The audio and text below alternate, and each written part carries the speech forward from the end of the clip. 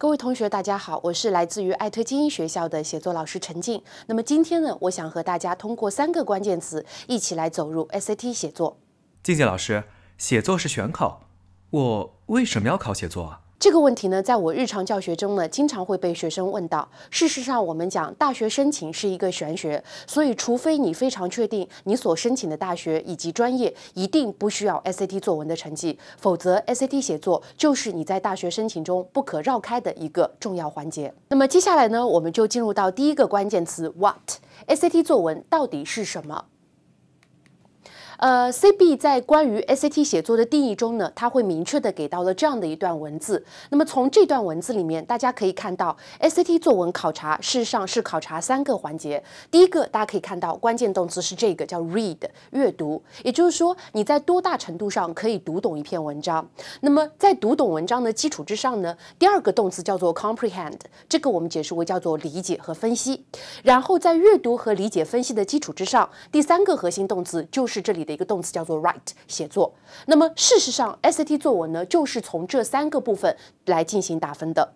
那么 SAT 写作的本质是什么？我们可以把它理解为是一个有理有据有节的 rhetorical analysis。rhetorical analysis 是什么东西？听着好难啊。好，rhetorical analysis 呢，听起来稍微有一点点学术。那么从字义上来理解的话，我们可以理解为是一个修辞的分析。换言之，我们要分析的是，在这篇作文中，作者是怎样来运用各种写作技巧来表达他的观点，以及来说服读者的。那么在分析的过程中，虽然 CB 说我们可以分析这篇文章写的好在哪里（括号也可以分析它不好在哪里），但是无论从 CB 所提供的满分。作文以及各种低分作文的样板来看，所有的文章都是分析这篇文章好在哪里。所以从这个意义上来说呢，我们就可以把 SAT 作文理解为三个字：彩虹屁。我们不仅需要吹彩虹屁，而且需要做到六个字：有理有据有节。有理的意思是说，你要让你的文章自圆其说；有据的意思是说，你在文章里面要寻找到一定 source。所谓有节，指的是你的文章的篇幅排布要合理。老师。你能举个例子吗？好的，既然这位同学要一个例子，那么接下来呢，我们就通过一个例子来讲解 SAT 作文的本质到底是什么。我们讲 SAT 作文的本质呢，是作者在通过各种写作技巧说服读者来接受他的观点。那么这种说服其实不仅仅在学术文本中经常见，在我们日常生活中呢也是相当常见的。比如说，我们来看这个例子：当我们在打开电视的时候，我们经常会发现电视中有各种各样的广告。那么我就随机抽选了一则牙膏广告。那么这个牙膏呢，它所推广的产品就是我们生活中非常熟悉的一款牙膏。我相信很多孩子都用过 Sensodyne，我们称之为叫舒适达牙膏。在这个牙膏在推广的过程中，事实上这个广告的销售者他采用的一种方法，如果放到我们写作中，我们就可以称之为叫做 quotation 引用。因为在这里呢，作者就引用了一个牙医所说的话。那么接下来我们来认真阅读一下这段文本以及这个牙医一所代表的形象，大家可以看到，首先这个牙医他穿着是白大褂的形象，那么他穿着专业制服的这个形象，我们就可以理解为他增强了这个牙膏广告中的我们称之为叫做 ethos 信誉度，他让接下来所发生的这个广告变得更加可信了，这也是我们在 SAT 作文中常用的一个伎俩。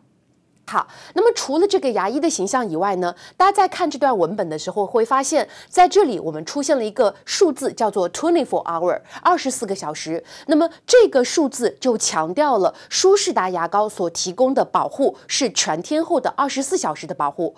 同时，在对这个牙医的身份进行说明的时候，在这里面我们给到了 title，比如说这里的 dentist 或者这个 doctor，那么来表明这个牙医事实上在业内是。一个权威人士，那么这当然也能够增加这段广告的一个 ethos 信誉度。那么除了这个图片形象以外的话，接下来我们来分析一下这个文本。首先，我们来看第一句话，他说到说这是一款全新的突破性的牙膏。注意，在这里面作者用了两个修饰词。那么这个修饰词是两个形容词，第一个我们称之为叫全新的，第二个是突破性的。这个如果是放到 SAT 作文中呢，我们就可以把它称之为叫做 positive diction 褒义词的使用。褒义词当然并不能够直接让读者更加接受作者的观点，但是。通过这样的诸如全新的或者突破性的，事实上作者就非常好的给读者创造了一种氛围。那么在这种 atmosphere 氛围中，读者就会觉得舒适达所带来的这种刷牙体验是完全革新式的。好，我们继续往后看，他讲到说，舒适达牙膏能够引发修复牙齿的敏感部位。那么为什么会引发牙齿的敏感呢？他提到了一个原因，原因就在于牙齿上的一些小洞。然后他再讲到要说，舒适达能够保护这样的牙齿的根本原因就在于能够修复牙齿上的呃小洞。请大家注意一下这段文本，这段文本是我们在写作中经常所用到的一点，我们称之为叫做 logos 逻辑。也就是说，作者不仅仅向读者去解释了舒适达能够去保护我们的牙齿，同时他很好的向读者解释了为什么舒适达能够保护牙齿的原因。那么这些原因和舒适达的这个效果之间呢，就构成了一个非常明确的因果关系。那么读者就能够做到知其然，并且知其所以然。这是我们 logos 中的一个重要环节。同样在写作中，如果你在写作中看到作者大量的跟你在解释因果关系的时候，你就可以很好的分析文本中的这种因果关系，以及这种因果关系是怎样让作者来更好的让读者来接受他的观点的。那么在接下来的文本中呢，作者提到了一个词叫做 novelty。我想问一下大锤同学，你知道 novelty 这个词是什么意思吗？我不知道，但是听起来这个技术很厉害的样子。啊 n o v e m i n 不知道。好，我不想跟大家解释 n o v e m i n 是什么意思，我们只要来观察一下它的构成。大家可以看到，它的两个首字母都是用了一个 capital 的形式，大写的形式。那么首字母大写，我们可以大胆的往这个方向去猜，它是一个专有名词、专业术语。专业术语的作用呢，我想中文中有四个字，非常好的表明了这一点：不明觉厉。也就是说，你懂吗？你不了解，但是你会什么感觉？绝力，你觉得他非常厉害，这无形中也增强了文章中的 ethos，它的信誉度会更高，让读者觉得作者在这方面是有所调查的，是有所 well informed，是更加全知全能的。好，然后接下来看到后面一句话，他说修复牙齿敏感部位的有效率高达百分之九十八。那么这个百分之九十八就是我们在 SAT 作文中经常会用到的，也是我们经常会分析到的一种写作策略，我们称之为叫做 statistics，叫数据。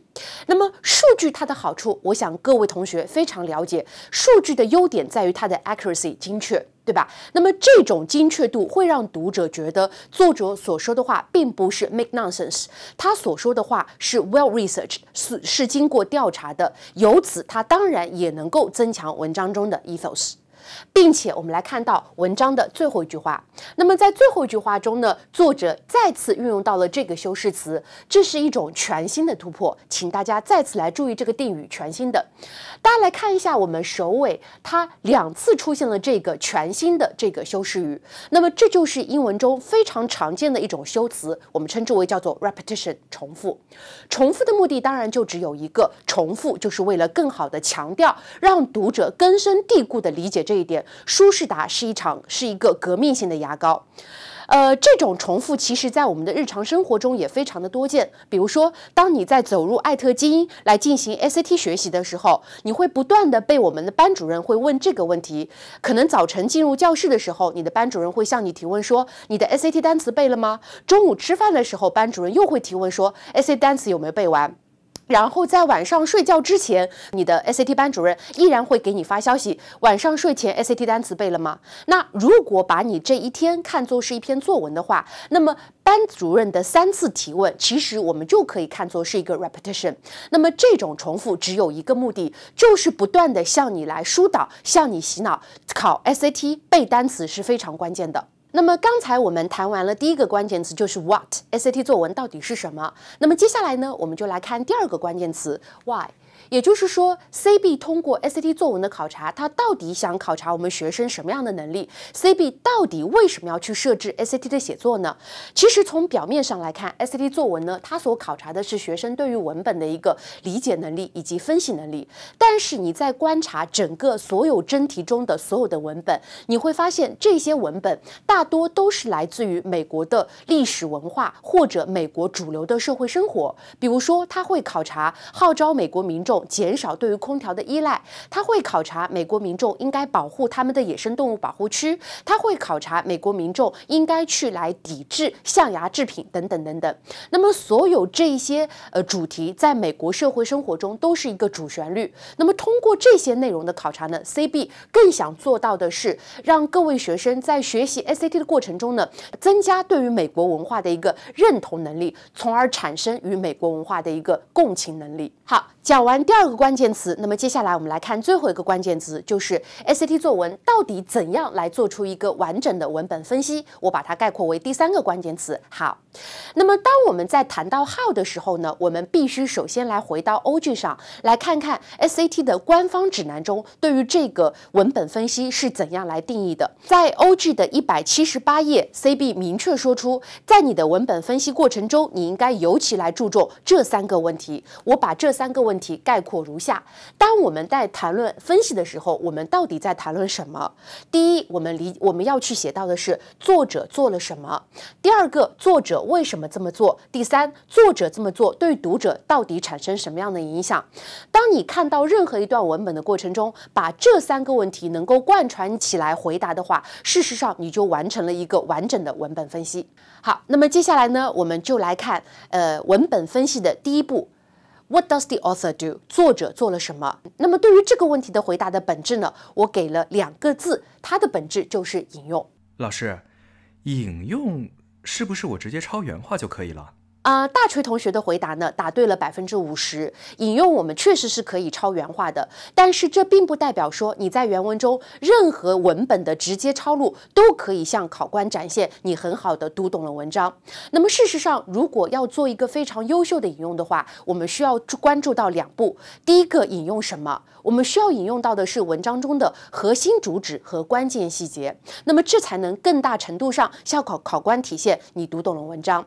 那么第二个。呢，就是我们到底应该怎样来做引用？我们的引用方法有两个，第一个是直接引用，那么第二个呢是间接引用。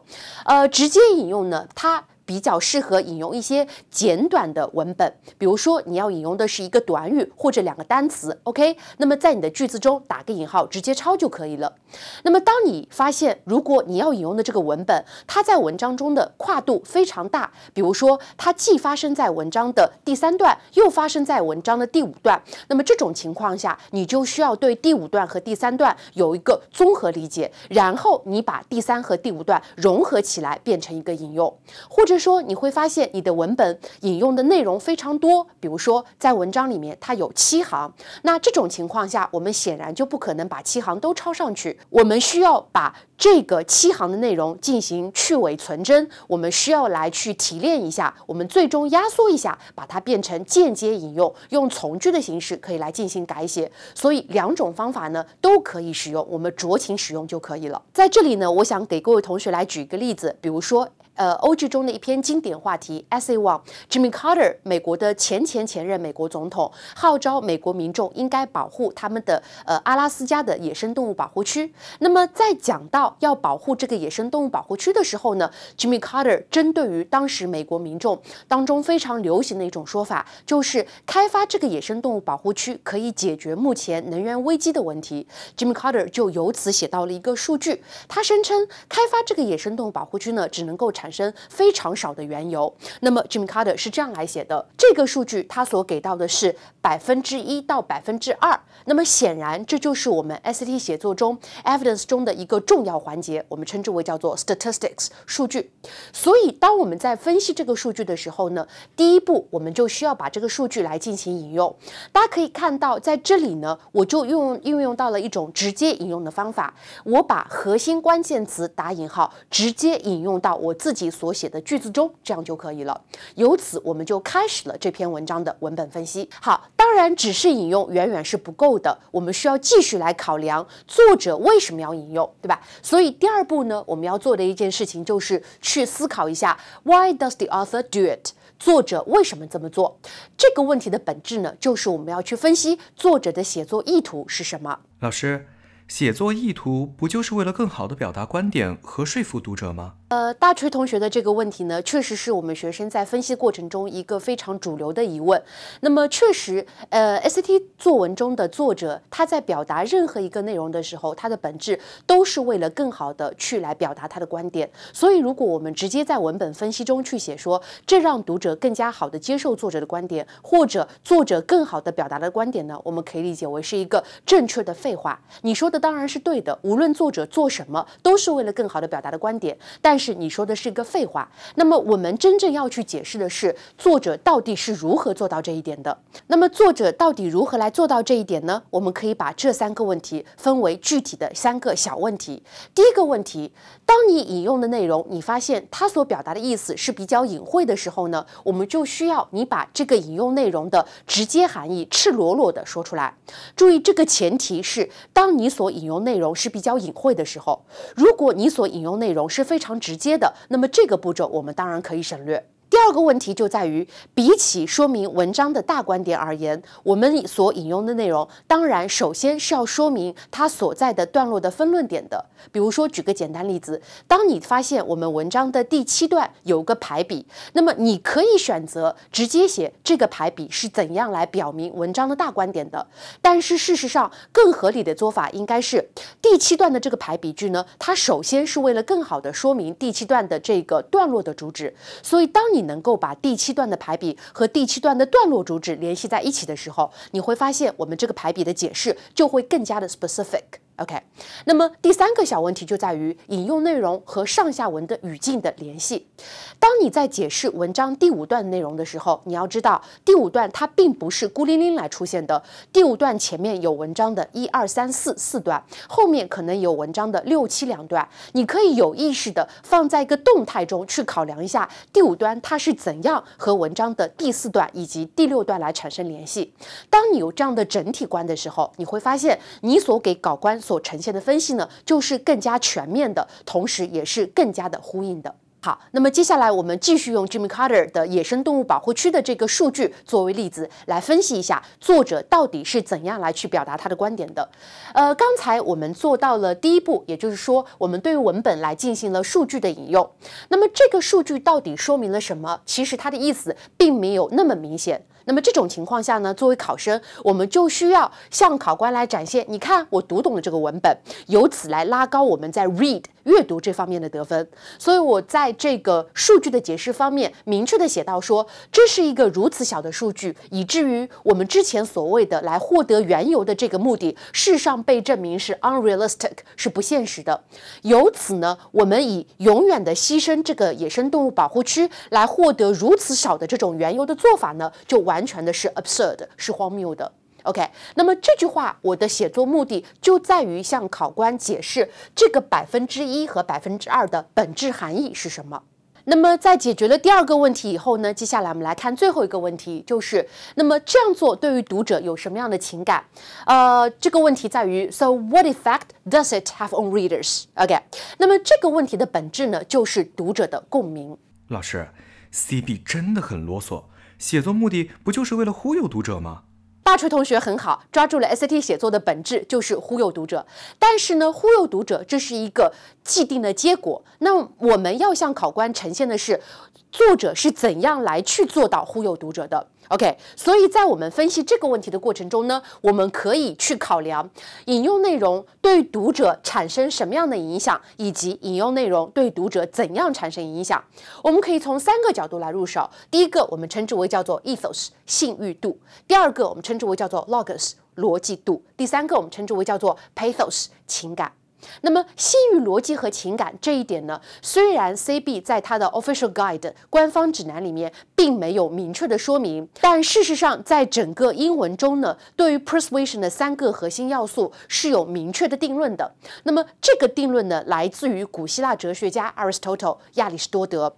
那么亚里士多德所提在他的这个修辞的艺术中所提到，当我们要去说服读者的时候呢，我们需要来做到三个角度。第一个逻辑，也就是说你的文本、你的呈现内容必须是有条有理的，是能够讲清楚它的道理的。那么第二个呢，我们称之为叫做 ethos，也就是说你所呈现的内容必须是具有可信度的。那么第三个呢，我们称之为叫做 pathos，以情动人。很多同学经常会被亚里士多德的这三个术语所吓到，所以会感觉说：“静静，我觉得这个内容好高大上呀。”事实上，如果你把目光投向中文的话，你会发现几乎同时期我们中文中也有类似的表达。我们把目光投向于《论语》，大家会发现《论语》中也有类似的表达：“诱之以利。”动之以情，晓之以理，挟之以威。那么，当我们来看到诱之以利的时候呢？事实上，它所表达的是我们更多要去要用利益来说服这个当事人或者读者。那么，这个部分呢，其实就是亚里士多德所说的 pathos。动之以情，当然就非常明显了，情感以情动人。那么我们依然把它理解为叫做 pathos。晓之以理，这个理我们理解为叫做道理说理。那么这就是亚里士多德所说的 logos 逻辑。同样，挟之以威，那么这个威当然不是我们所谓的叫做威风或者威力，并不是 power，而是我们所谓的叫做 authority 权威。那么这个我们就称之为叫做 ethos 信誉度。所以从这个意义上来说呢，在此处东方文化和西方文化就有了交汇。如果各位孩子能够理解亚里士多德，那恭喜你，你可以从亚里士多德那里来找到共鸣。但是如果你发现亚里士多德没有办法来说服你的话，那么同样，我们把目光投向《论语》，我相信从孔子的话中，我们就可以找到答案。好，我们同样以 Jimmy Carter 这篇野生动物保护区的数据为例。那么之前我们分析了 Jimmy Carter 的以这个数据，我们对它进行了引用，同时来解释了这个文本对于表达观点有什么作用。那么接下来我们就来考量一下它是怎样对读者来产生影响的。那么我们可以从信誉度、逻辑和情感三个角度来走。首先从逻辑的角度而言，那么在文本中呢，Jimmy Carter 不仅仅向读者展现了这个呃。开发野生动物保护区是不值得的。同时呢，它也更好的向读者来表明，事实上我们有一个更优解的选项。在这里我有提到，就是呃，more fuel efficient vehicle，更加节能的汽车。那么这个过程，事实上作者就在与读者来进行说理，呃，说服读者去采用呃更加节能的汽车，而并不是来开发野生动物保护区来获得相同的目的。那么同样继续往下。